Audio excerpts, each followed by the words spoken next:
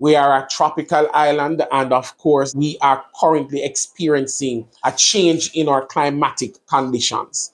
Now, this has implications for all of us. Teachers have always, always um, assisted with providing necessary resources to function in schools.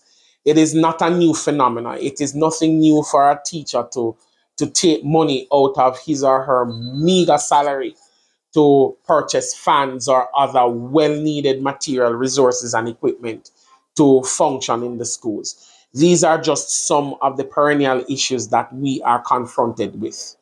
It goes back to the whole matter of the infrastructure, how schools were built, how they are maintained, and what is needed to get our schools um, modernized we are a tropical island, and of course, we are currently experiencing a change in our climatic conditions.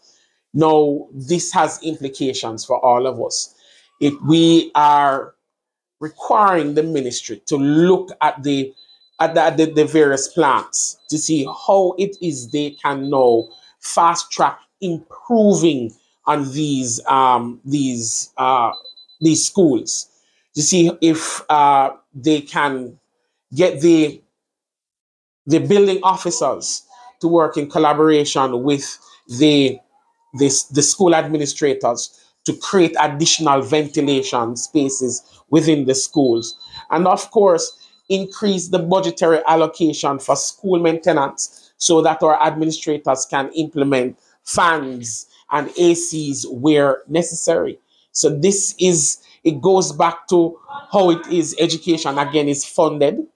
If our schools are properly funded to address the needs of the schools within the context, then I'm certain our administrators who have been entrusted with a duty of care and who have a fiduciary responsibility over how the monies are expended will exercise responsibility in ensuring that these monies are expended correctly.